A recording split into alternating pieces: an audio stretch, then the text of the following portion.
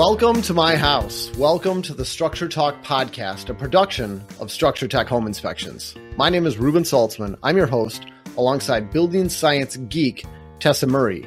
We help home inspectors up their game through education, and we help homeowners to be better stewards of their houses. We've been keeping it real on this podcast since 2019, and we are also the number one home inspection podcast in the world, according to my mom. Welcome back to the Structure Talk podcast. Tessa, great to see you. You know, I had to record a show last week all by my lonesome, Tess. I am so sorry I had to leave you, Ruben. And Yeah. I was so excited about that topic and the guest that you had on. And I haven't listened to it yet, but um, for anyone that missed it, it, you were talking about stucco and the new technology with, I guess, ways to paint it. Is that correct? Yeah, yeah. and and you know it's it's not even called a paint now. I don't even remember what it's called. It's like a concrete and masonry coating or something like that. But nowhere on the package does it say paint. But uh, yeah, really cool product. Check that out. Interesting. You, you have options. You don't uh you don't paint stucco, but there is a way to make it look painted, and the Mhm. house looks bright and shiny and new. I had family over the other day for dinner, and everybody was like, "Whoa, what did you do? It looks new." And I was like, "Yes, Yes. thank goodness." That's I'm glad somebody noticed because it was a big project. Yeah, Um, cool. All right, so welcome back, Tess. Glad to have Thank you you. here. It was a short show, by the way. I didn't. I don't know. When you're on, you've just got better questions than I do. I had all the questions kind of laid out that I wanted to ask. We got through all the questions, and I was like, "All right, that's a show. Twenty three minutes. We're done." Well, you're being kind, Ruben. I don't know about better questions, but let's just say more questions. I have a lot of questions. yeah, yeah. You you've got that good natural curiosity. All right, so we got a guest today, but before we get into the show, I, I want to give a shout out to our sponsors, IEB, Inspector Empire Builder. It's a inspector coaching and consulting group, peer to peer group that we joined back in 2019. Tons of super helpful information. We have four in person, uh, or no, excuse me, two in person masterminds every year, and then two all day remote masterminds every year. And I always get a ton of information from those. Always look forward to them. And we got weekly coaching calls. We got monthly specialized calls. You know, a call maybe on your business financials, a call on growth, calls on all different types of things. Whatever you can imagine, we got it covered. So if you want to learn more about them and you're a home inspection company, uh, check it out at uh, well we'll have the link in the show notes i don't i'm not i don't need to call it out so thank you to our sponsors without any further ado today's topic is a, this one's been a long time coming we Yeah. heard about this big legal settlement involving the national association of realtors many months ago it was earlier on in the year yeah. and a lot of people have been talking about how this is going to change real estate forever. I've been reading news headlines saying, you know, real estate's never going to be the same. This is, you know, this is a big disruptor and uh, get ready for big changes. And then, and then I've heard other stories. I, I've heard from a lot of people in the real estate profession saying, meh, you know, it's gonna it's gonna change. We're gonna have another box we gotta check. There's another form people gotta fill out.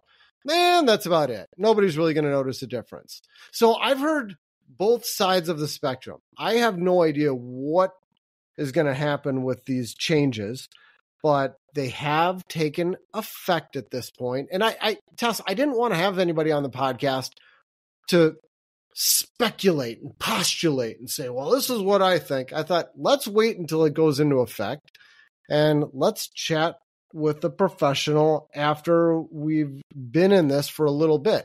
So today Yeah. I got Michael Bartus on the show, friend of mine. He's a realtor. He's been at this for what? How, Michael? How long you been doing real estate?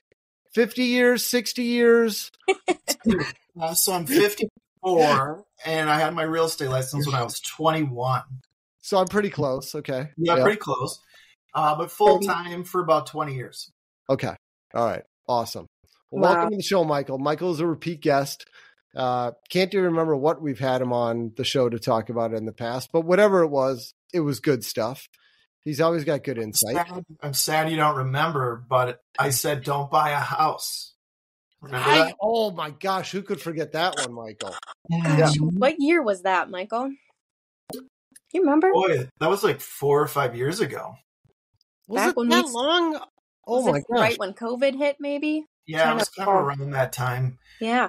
Yeah, so maybe three years ago. But I remember Mhm. that, and then I also did uh, tips to buy and sell during winter.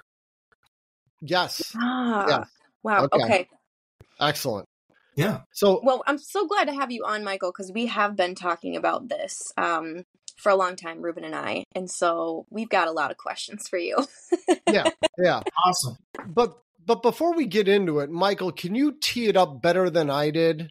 Because I just, I, I mean, I just glossed over it. Um, for anybody who's been living under a rock or, or just isn't involved in real estate news, what what happened? Tell us tell us a story, Michael.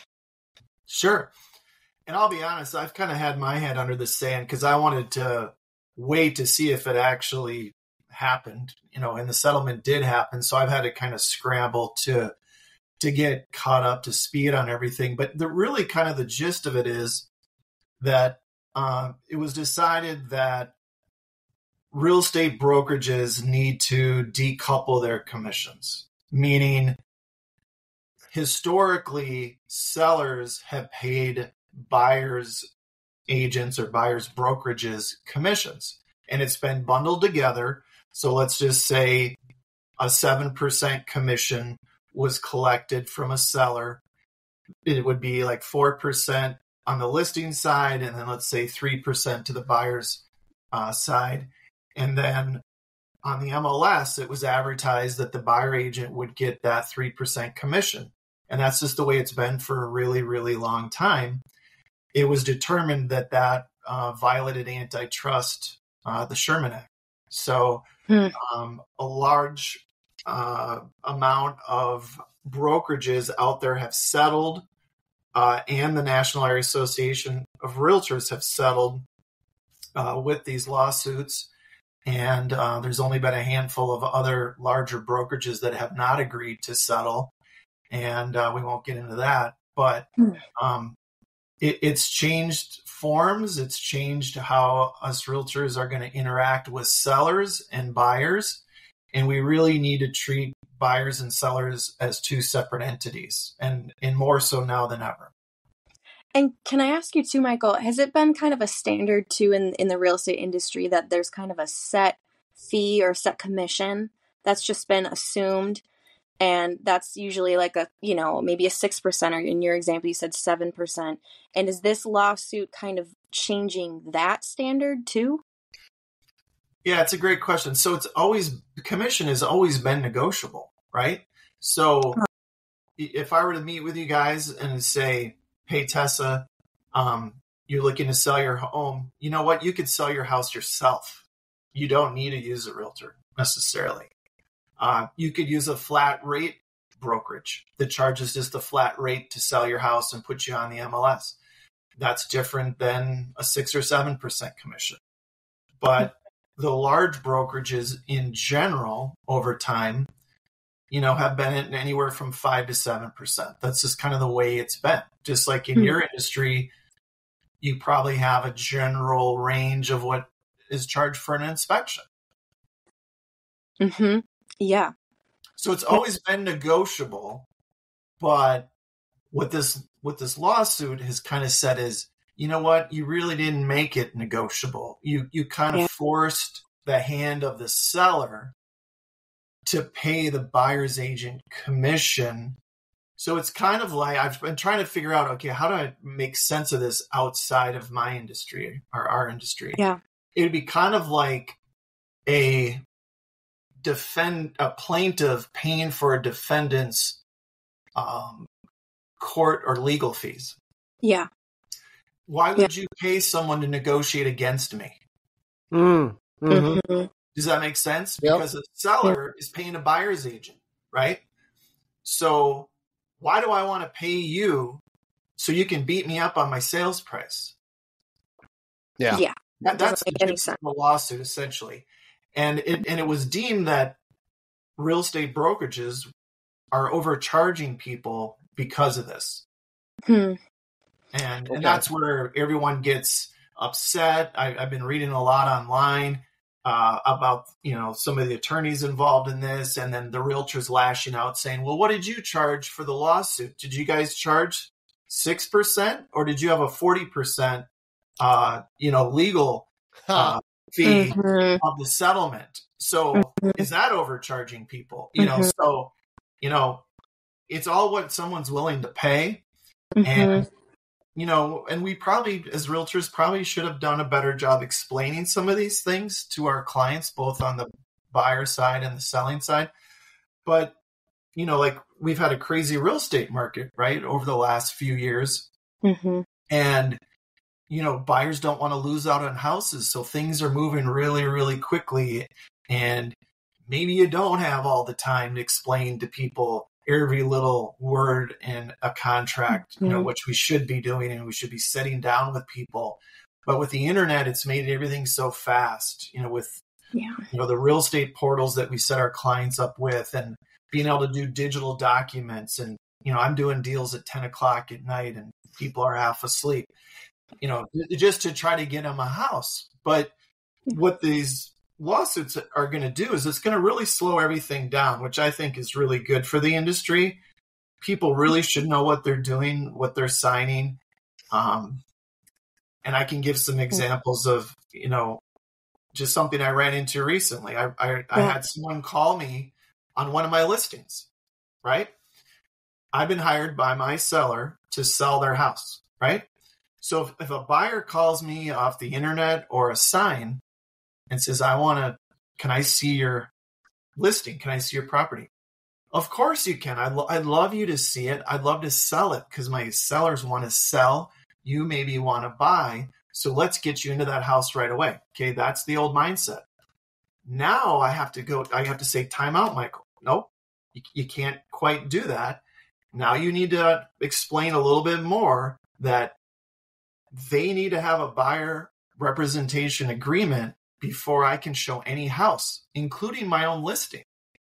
So Hmm. I call that person back and say, I know you don't know me. I don't know you either, but we need a buyer rep agreement in place before I can show you my listing. And it got so convoluted to try to explain this over the phone. Um, they ended up not doing it, and I didn't show the house. So, so my Ugh. sellers missed out on an opportunity to maybe sell their house. Now, I don't know if this was a plant. Maybe it wasn't really a buyer. I, I don't know. I don't know who this person was. Oh, someone just like testing you to make sure you're following the rules. Yeah, I've heard Oh. that there's federal agents in town that are posing as uh, buyers to try to trip us realtors up to make sure we're doing our job with explaining agency and dual Yeah. agency and that you need a form because there's there's fines involved. You could I, I I don't know all, all what the consequences are, but I believe it's a thousand dollar fine and then probably eventually losing your real estate license. So so it's it's not worth losing your license or paying a thousand dollar fine to have some random person call you to show the house. You know, um, Hmm. so Yeah. the way around it. So this is the thing: we as realtors are we're we're trying to get creative here with trying to work within the parameters of the industry. Well, I could have said, "Hey, Mister Buyer, it's 10 a.m. right now. I'm going to do a public open house today from noon to one." And if you just want to show up during that time, it's open to the public and you can just kind of stroll right in. Yeah. Yeah. Now I don't need a buyer rep agreement in that situation, from what I understand. I was just going to ask you about that exact thing to see if you could do that. Okay. Yeah, so creative. it's a All right. loophole. So what I try to do is, um, if if buyers do call me about properties, I will let them know like, hey, there is a public open house. Y- You know, if you have a realtor, please let me know. Whatever. Um, I want to respect those relationships. But hey, I'm having an open house this Sunday. If you happen to be in the area, why don't you come there? And then you don't have to worry about, you know, signing a contract at this point. Yeah. Yeah. So this uh this extra documentation that's required, it, it's basically like an agreement that a, a potential buyer would have to have with the seller's agent or with their agent, their buyer's agent. Yeah, so it's a little tricky. So not so if you're a, let's say you test you're a buyer and you want me to represent you in a transaction, um, I would recommend that you and I sit down and and we talk about the paperwork uh, together, but it's completely negotiable how you and I work together. So huh. if you're more comfortable paying me an hourly rate of $150 an hour, uh, we could negotiate that. If you want to pay me a percent of the sale, you, you could do that. Like it's normally, wow. but it's usually paid by the seller. Right. Uh, so there, there's it's basically all negotiable. So everything's wow. negotiable now on the seller side and the buyer side. So Hmm. In a way, it's kind of fun, but it's kind of the Wild West. Yeah. And so trying to navigate this, it you know, and I'm still navigating it. I don't consider myself an expert. I just got this kind of dumped on me and I'm I'm trying to figure it out too. So yeah, you know what I'm saying hopefully is accurate. Uh, I'm still learning everything about it, but the bottom line is is that we need to slow down. We need to talk openly to our yeah. buyers and sellers about how compensation is is right. being handled. And yeah. you have to figure out that commission percentage or hourly rate or whatever it is before you even go look at a house with a client. Yeah, and that's what's tricky is you know, you don't go on a first date and marry the person, right? I mean, let's like, sign this prenup here. yeah, unless it's a yeah. prearranged marriage or something like that. But that's you know, that violates you know antitrust if you do. So, so anyway, yes, Ruben. Well, so what what exactly are they signing? What does it say? Buyer representation agreement. And but and but just help me understand what does that mean? I mean, does that mean that if they buy a house anytime within the next X number of years, that they are agreeing that you are going to represent them? I mean, how do they get out of it? How long is it for? What what are the? I tell me more. Yeah, it's all negotiable. So you know, if you're like Michael, I don't really know you, and and I don't really know them. And we just want to do a one-time showing agreement. So, like in the case where that person called me on the phone, mm-hmm. I uh-huh. explained to them that we could just do a one-time showing agreement. So, you know, if if we meet each other at the house and you like the house, you want to make an offer, you would agree to pay, you know, X, you know, some compensation. But you know, again, we didn't sit down to negotiate that, so I don't even know, you know, what that would have been. But let's just say we did.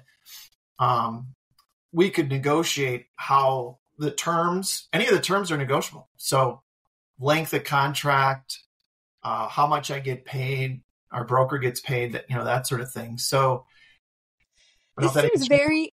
I mean, this just seems like a, you know, this is really going to be a challenge for the real estate industry. I think trying to navigate this. It sounds like you're. I mean, you've been in this industry a long time, and you're still trying to wrap your head around it and figure out what's going on and and how to handle it and and how to the tough part is how to educate the buyer or the seller around all these things too and do you have any advice like for a potential buyer in this market of what you'd recommend how they how they handle it like what's like what are some some um i guess some information you think that'd be helpful for someone looking to buy a house right now well you can definitely go to the consumer advocates in american real estate uh, website. Um, you can also go to the National Area Association, National Area Association of Realtors website. Those are both two good resources uh, as a consumer to go to and, and, kind of find out about what's going on and kind of what your rights are and, and what what's negotiable, what's not. But here's the thing, and this is where you know I'm kind of struggling too. Is um, you know I'm used to a certain range of commissions and, and, and getting paid a certain kind of way. Um, what I want to do might be different than the next realtor. So I would just say find a realtor that is willing to do what you want to do. Because yeah, I'm not holding the gun to anyone's head. If you want to work with me, this is what I'm willing to do and what I'm willing to work for. But you might have another agent who's willing to maybe let's say work for less. Hey, if yeah. that's if that's important to you, you know, I feel like you know my years of experience and my dad being a builder and realtor I, I mm-hmm. think I have a lot of high value in what I offer, but you might have a brand new realtor that doesn't have the experience that might be willing to, you know, work for a flat rate or whatever. You know, that's up to you, the consumer, to negotiate that. So, wow.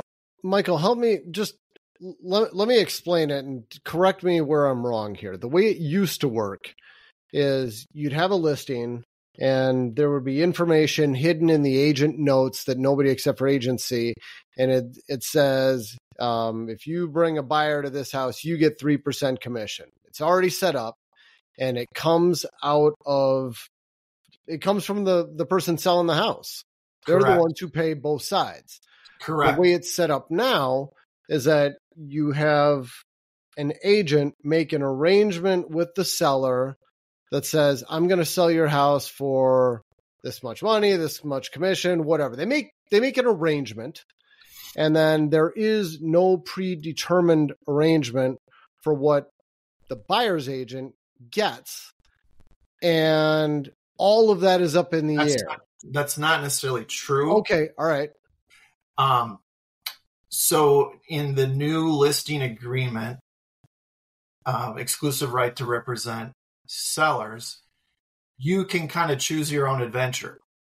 So you can do the way that we used to do it, which would be the seller basically says to the listing agent, I want to do it the old way. I want your brokerage to pay the buyer's agent brokerage directly and take it out of net proceeds. Uh huh.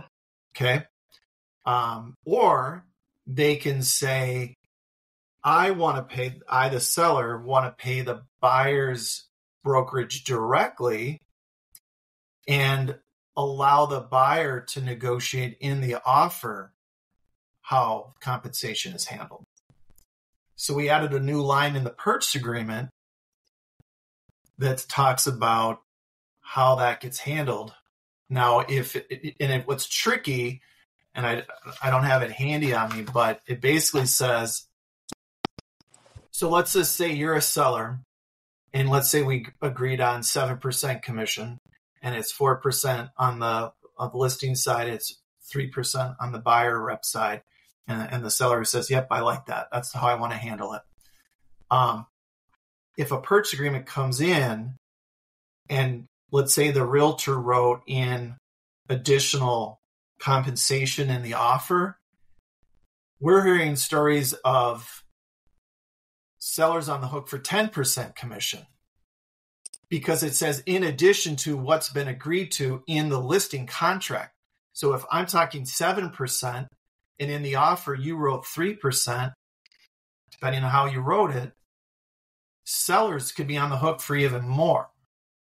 Now, the way it all trickles down Mm. They probably wouldn't be, but contractually they might be. So wow. you just have to be super duper careful. Again, it's you got to slow down, explain things, read things, uh, make sure you check the right boxes. Uh, don't be sloppy. Uh, the days of just writing a purchase agreement in five minutes, you know, are over. yeah. But you really got to slow down. Yeah. And make sure. So now what's happening is if I'm going to show a listing, you know, I have to have the buyer rep agreement in place. I also have to now contact the listing broker if I want to know if there's going to be any compensation paid to our brokerage directly. And then we sign a cooperating brokerage agreement between each other for compensation to make sure that I'll get paid, our brokerage will get paid from the seller directly. If they say no, the the seller isn't offering a, a, fixed commission or anything like that, then I have to negotiate that in the purchase agreement. Mm. So it's no. another step for the realtor if they want to figure out what they make. And then uh, you gotta you gotta go back to the person who would be potentially buying the house, and you gotta say, hey, look, the seller isn't gonna pay me anything, uh, but this is what I charge, so now you're gonna have to pay me, right? Exactly, and that's kind of you know, historically, we've always kind of known, like I could go on the MLS and, like you said earlier, I could look on the MLS and say, wow, okay, um, this is a national builder. They're paying me a flat rate of 2%, let's say. Uh, whereas an existing home might be paying me 3%. You know, so um, now that's over. We, we cannot advertise any commissions on our MLS anymore. Mm-hmm. We can advertise, from what I understand, we can advertise seller concessions, which could be like commission or uh, closing costs paid by the seller. Mm-hmm. Okay. You know, it's kind of my understanding that so so NAR is this gigantic organization, National Association of, of Realtors, that's kind of been setting the rules for like a hundred years in this country. And right. they they basically own MLS and and they control a lot of different aspects of this whole real estate industry and a huge percentage of uh, real estate agents are members of NAR, and it's it. I mean, it uh, gives you access to the lockbox and MLS and all these things. So it's it's been really hard, I think, in this in this industry as a real estate agent to be a real estate agent, be successful, and not be a member of NAR. Correct. So correct. Most agents have been, and they kind of just set these rules of like this is how it's going to work, and this is like this kind of standard commission that sellers will pay out, and it's just kind of you know this deal is done and and so this lawsuit really it was like okay well nar you've kind of been this monopoly that's set found guilty of price fixing and uh, we're going to break up that monopoly now and give the power back to the people to negotiate their own you know payouts i guess to the real estate agents. And how do you think that's going to change this this real estate industry? Like what's it going to look like in the next five ten years yeah, that's a great, great question. question. And that's where the antitrust thing kind of came about, right? Because they're basically accusing NAR of creating the environment or the framework for in which realtors operate under, and that and that the sellers just pay the buyer's agent commission, and that's just the way it is. You know? Yeah. When we, uh, I remember a million years ago when I went to real estate school, we used to talk about the real estate commission, and it's like, well, how does you know how does this all work? And one of the instructors said, well, it's kind of like the real estate commission is up in the attic uh-huh. to kind of create a visual, and that the money is just kind of up there as commission. And then when the house sells, the, the money kind of comes out of the attic and it gets all divvied up. And it's just kind of built into the price uh, of the home. It's kind of like a Prego yeah. uh, sauce, Italian sauce. It's in that. so um, for us, for the younger viewers at home, that, that joke doesn't work. But uh, yeah, so that's what's you know the the the basis of the lawsuit really is that yeah. they've created this framework, but if it's always been that way, then I'm just a realtor operating within that environment. So am I guilty of a crime if I'm operating within the parameters which have been created. I mean, the last time I checked, lawyers are writing our purchase agreements and our listing contracts, so it's been run by lawyers. So it all seems legit. You know, as a realtor, it seems like, okay, this is the way it's always been, so I guess it's right. And we're just operating within the environment that was created for us. So that's what's right. kind of tricky. Yeah. Is now that's all disrupted so now it's like, well, do I even trust who created the parameters which I'm working in NAR? And so I've I've been hearing about alternative MLS systems forming. Wow. To mm. to kind of create their own empires, if you will. And it to me it feels like this could go backwards where you know the beauty of NAR was if you're a real if you're an individual like a consumer looking in Ohio and you live in Minnesota, you can go to realtor.com and you can look at houses for sale in Ohio because they have all the national yeah uh, local MLSs in their system, right? So that's always been a really cool thing. Now what what might happen is you might have the state of Minnesota say, "You know what? We don't want to be part of NAR. We don't want to be part of any national anything. We're going to create our own little kingdom and we're going to go back to the phone books with the printouts of the houses in there, and you're going to have to come back and get the keys from our brokerage, and we're going to make it real difficult. And yeah. whatever brokerages have the most listings will win. You know, and, and I and I think that's going backwards. I, am being extreme yeah. That, but but you just kind of want to say, you know what, screw y'all. I just want to have my own my own MLS in my own system, and I don't want to be plugged mm-hmm. into anything if you're not going to protect me. You know? Yeah, yeah. And eh, you know, an eh, interesting point. You, you talk about these forms. It sounds like they're just kind of the wild, wild west right now with these buyer agreements, and and you're saying they can be anything they want. And I, I got to point out that the the current purchase agreement that everybody uses, it, it, it, there's a standard form. It's put out by the I don't know the Minnesota Association of Realtors or something like that. Yep. Yeah, there, there's a standard form. Everybody uses it. They are all identical, and none of them are required. It is an optional form, but everybody has a lot of protection or at least feeling of protection if they use this. It's kind of like, you know, Tessa, for us as home inspectors here in Minnesota, we're not licensed. There's no regulation around yeah. home inspections. But yeah. if you're going to be doing a home inspection, you better follow a standard of practice. Mm-hmm. And there's two of them. There's ASHI and InterNACHI. They're very similar.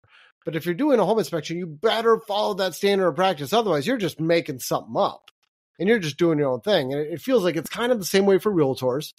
If you're going to write a purchase agreement, you're surely going to use the standard form that everybody else uses. It was written by attorneys, it's vetted, everybody knows it, everybody agrees to it.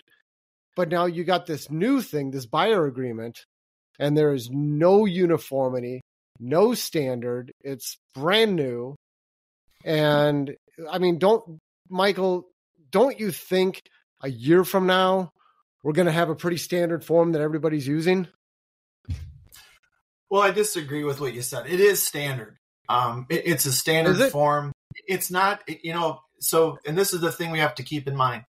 This is a state by state thing. So, how I do business in Minnesota is very different than Texas and Florida, California. Minnesota has actually been ahead of all this for many, many years. Okay. We've actually had in our buyer rep agreement that the buyer could be on the hook to pay the buyer's brokerage commission in the event that the seller doesn't do that. Hmm. I actually had a client uh, find a house on Craigslist. It, it, there was no MLS. It was Craigslist, right? I didn't know if I was going to get paid, and and I had shown this particular uh, buyer probably like 30, 40 homes. So it'd be nice to get paid for my time, but you know what?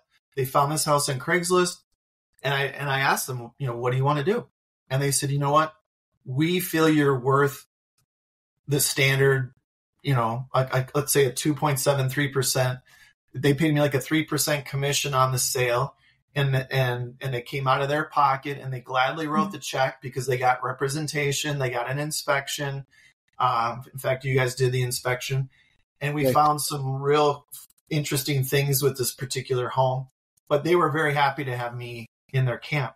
So, so buyers in some cases are willing to pay this fee, and and hopefully they will. But there's going to be cases where they can't. And quite honestly, some of the realtors are going to have to do some charity work in some cases and just maybe not make any money or get creative with the offer that they make. And you know, just chalk it up to community service, you know? Wow. Okay. Yeah, that's but a big is, shift.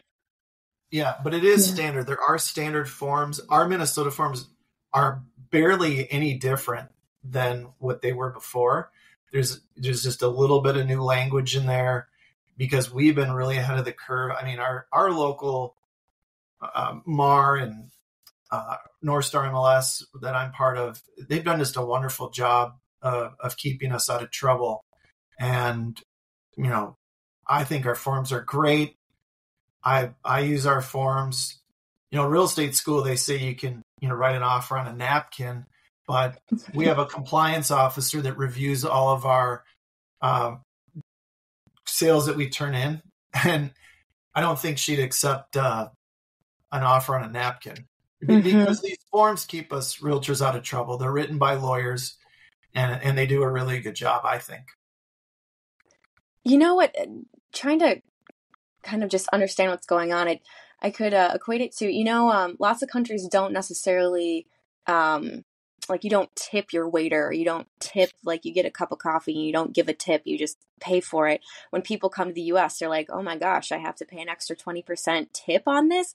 Like what is going on? And it's kind of like you know when you go to pay for something these days a lot of times you know they'll they'll spin the machine around you put your card in it and it'll start at like you know 18 20 or 22% and you just click on that and you if you were someone who didn't understand our process um, you'd look at that and think that you had to choose 18 or 20 or 22 you didn't realize that you could just you could even opt out if you wanted to or you could choose a lower percentage. It seems like that's kind of how the real estate industry has worked for a long time. It's just with this kind of assumed commission rate that was you know just people didn't even realize that it was technically you could negotiate it but it never got negotiated you would just you know, agree to this 6% or 7% or whatever it was. And it just happened. And now this lawsuit is telling buyers and sellers, like, you don't have to pay that. You never did. Don't you think there's going to be a lot of sellers that are like, I'm not paying, I'm not paying the buyer's agent and I'm not going to pay my, like, my agent even, you know, 3%. That if they're selling a million dollar house, you know, they're like, okay, well, I'll, I'll pay him 1%. Do you think that there's going to be a lot of people that are just going to almost kind of revolt against the system and real estate agents will have to kind of almost start competing against each other to offer competitive pricing structures so they they don't run out of business i mean so far i haven't had any problems with getting compensated and you know i, I guess there'll be a day where maybe i won't i don't know but no, I don't. I don't really think it's going to impact us that greatly. I, there probably need to be another wave of lawsuits. Probably is what's going to happen, and they're going to keep tightening things up because people are going to figure out ways around the way that this is is created. So, for example, um, we're not supposed to advertise a buyer agent commission, a buyer broker commission on the MLS, but I can outside of the MLS. So I just got an email before I got on this call that said, Hey, Michael, uh, there's a property at Yakety Yak Street, and we're offering a 2.7% buyer's uh, brokerage commission. So you, there's ways okay. around the system. Okay. And so it's just going to create a lot of creativity. Yeah. brokers, agents. And at the end of the day, a buyer or seller doesn't have to use who they're talking to. They can they can use anyone that will give them what they want, you know. And I think uh, uh, like for me, I'm expecting to make a certain amount of money and if my client doesn't want to pay me that, they don't have to use me. I'm not holding a gun to their head. They do not have to use me. There's mm-hmm. no forced anything to use me. That's what's a little frustrating about the lawsuit is that commission has always been negotiable and most people have been okay with it. I mean, you guys have bought and sold real estate probably, mm-hmm. and you're maybe living in a house and everything is fine, right? So, w- did you overpay a realtor for whatever you paid? I don't know. I mean, I had a client, he just sold his place and he just paid cash for this next place. He's happy as heck. And yeah. he paid, uh, you know, quote unquote a regular commission. Well, it, so you know, it seems like it seems like commissions are all over the place. Like, I mean, Michael, you talk about this client where you showed him thirty to forty houses. Yeah. And they finally bought one, and let's say let's say they bought some two hundred thousand dollar townhome, and you got three percent. Um, I don't think you got paid well at all there. I think that's horrible money for your time, and that's that's terrible. But on the other hand, um, you get some other fancy buyers who find a property online and they're like, "Yep, this is what we want, Michael. We want you to represent us. Can, can you go help us take a look? Yep, this is it." And it's a three million dollar house, and you're getting three percent commission. Like, that's great. You're really getting paid well for your time. And right. then there's everything in between. And yeah. I've always thought that the 3% seems a little goofy because, I mean, it's like, I, well, t- tell me this. Maybe I'm wrong, but what, what would you prefer, Michael? Would you prefer 3% of a $200,000 townhome Or would you like 1% of a $1 million house? Now, Let's do math. well, with the $1 million house, you're definitely getting paid a lot Let more. me do math, Ruben. I, I, well, I you, have you're getting more. down here and uh, start adding and subtracting here. Okay, continue. But but you're you're getting significantly more for the million dollar house, even though you're getting a much lower commission. But the assumption, the the the assumption here has to be that if you're selling a million dollar house, it's going to be way more work than a two hundred thousand dollar house. You deserve to be paid maybe five times as much because the price is five times as much. Your commission is going to be five times as high with our traditional model of 3% flat across the board. But is it really five times as much work? If you're selling a $5 million house, is it 15 times as much work? Or, or mm. 50, Should it be a sliding? Should it be a sliding scale? Yeah, what you're saying, yeah. Is, yeah. It, is it right what we've always done? And I mean, I don't know. I can see cases where it works out really well and cases where it's really horrible for you. I'll, Yeah. I'll turn it back onto you. Um, so let's say you're inspecting a million dollar home and you're inspecting a two hundred thousand dollar home. Let's say you, as an inspector, uh, dam up the tub upstairs and it and it floods the house.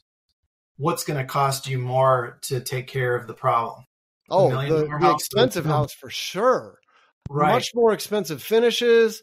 And you got people who are going to lawyer up at the drop of a hat. and uh, I mean, yeah, it's it's way more of a hassle on those houses. But we don't charge based on the price of the house. We only charge based on the size and age. I mean, maybe we should. right. That's a good So argument for charging by the by the price. so where I'm kind of going with this is, and this is something that realtors don't even talk about and brokers don't talk about, and they need to talk about it. Is there is an element of errors and omissions insurance that's involved in every transaction. Okay.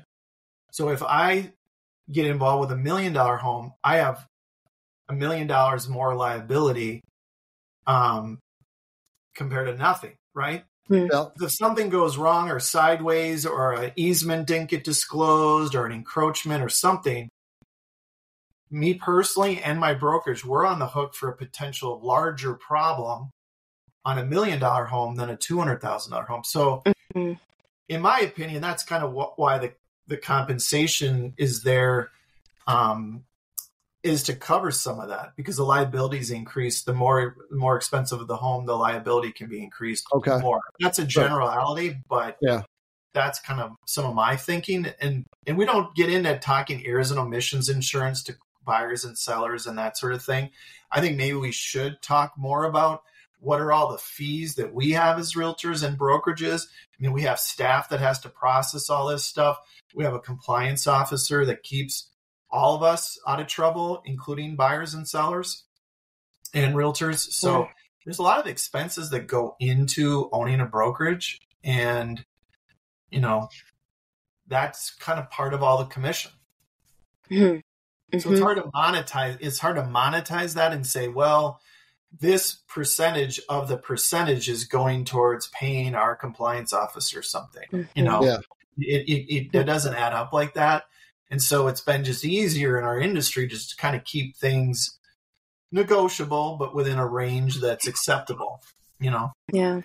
So, do you think that the percentage of the property price being paid to the buyer's agent, do you think that's going to stick around as the norm as years go on? I don't know. I mean, that's that's a loaded question, Ruben. Okay. Um, All right. I'll ask you in a you year. know, it- it's come back to that. negotiable forever. You know, it, it, it, it could get negotiated down as as houses increase in value. Uh, commissions necessarily haven't gone down. I, I mean, you I, when I first got in the business, it was pretty common to charge seven percent. It's kind of come down to six percent. But then I've also had um, I've had contracts where it's a variable commission where if I get X, we charge this. If I find the buyers I, I would charge this. So we used to have we used to be able to do variable commissions. We can't do that anymore either. Mhm. So I talked about choose your own adventure. You can only do so much of that in the contract. Um, you know, with the seller, they they have to agree to what adventure they want to go on, but you can't say, I, you know, this is the range of what it's going to be charged. It has to be very specific. This is what's being charged. Okay. But I don't know. I, I, you know, the conspiracy theorist in me, um, it feels like some of the powers that be don't want to see realtors make as much compensation. They want us to move more towards a a Zillow or Redfin model where you hit a Mm. button and someone shows up that's being paid an hourly rate and they show you the house and if you want to do a contract it's a flat rate deal and Huh. it's in and out it's amazon.com Uh huh. boom, boom, and boom. And because anytime there's money, there's someone behind the scenes trying to take it away from you and, and make it easier for people. Yeah. And is that in the buyer's or seller's best interest? You know, maybe it could be. If you're a real savvy buyer and you know what you're doing, that might that model might work great. But if you're a first time home buyer and you know nothing about real estate and you're dealing with a ten dollar an hour uh, showing agent potentially, um, and they don't know what they're doing. I don't know. That to me is creating a lot of liability for that buyer that Yeah. don't, don't Hopefully, know. they get a good home inspection. Well, you know they're not gonna test. Their their ten dollar an hour agent is gonna say, "Hey, look, I know the cheapest home inspector out there. These guys will do it for one ninety nine, any size house." yeah. Yeah, Yep. there you go. Yeah, Yeah. So, but you know, that's just what it feels like. You know, it's it's like what Amazon did to the book industry. You know, they they make it easy. You can go there, you can buy a book, and it shows up on your doorstep that day. You know, they and so a lot of booksellers went out of business. So this this lawsuit, and as it plays out, you know, it, it could impact some of the smaller brokerages. I mean, I, I know some lenders that have gone out of business just because the business isn't there. So, Mm. you know, it, it may become more of a, you know, there's three or four players that run the whole industry and that's it. It's, you know, some of the big nationals and that's it, you know. Hmm. But but now we're getting into antitrust stuff again, right? Now it's an oligopoly. We have three companies Yeah. running one entire industry. Um, where Yeah. right now we have a lot of boutique shops that are brokerages. We have large nationals. You know, um, there's a lot of variety. There's a lot of options for people. I, I think consumers have a lot of choices right now on what to do with their selling side and buying side. You know, it's really up to you. Yeah. What what level of service do you want? It's it's do you want the McDonald's hamburger or do you want the Manny's steak? Yeah. Nope. We talk about that with the home inspection industry too a lot, Michael. It's like that, you know, there's a variety of quality out there, and so just as a consumer, what what matters to you? Um, and it sounds like it's the same thing kind of with real estate now too. It's you know you you get what you pay for potentially, and it's up to you to negotiate with your agent to get on the same page and figure out what works best for you guys. Right. Yeah. Yep. Absolutely. Wow.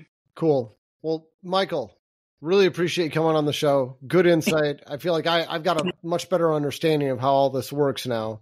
I uh, I, I appreciate your insights, and it, it'd be interesting to see where we go a year from now. What where the landscape changes, or if it doesn't. Uh, that it could be that too. But if if people want to reach out to you directly, Michael, how can they get a hold of you? Yeah, my cell phone is 952 400 7000. And then my website is hometwincities.com. Cool. Mm. All right, appreciate it. We'll have a link to those. Uh, we'll have that published in our show notes, just in case anybody missed it or doesn't want to write Yeah. it down and driving or something. Go to the show notes, and if you have any thoughts from me or Tessa, comments, questions, concerns, ideas for another show, whatever, please email us. It's podcast at structuretech.com. Thanks for listening. We'll catch you next time.